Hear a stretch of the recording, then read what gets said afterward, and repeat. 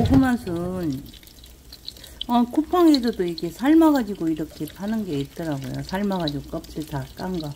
자, 깐 순이를 샀어요. 저 이거 볶은 거 도, 좋아하거든요.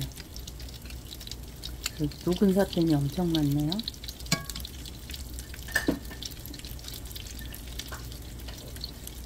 그래서 오랜만에 이렇게 볶아서 저녁에 맛있게 먹어보려고 볶고 있습니다. 깐순이 볶음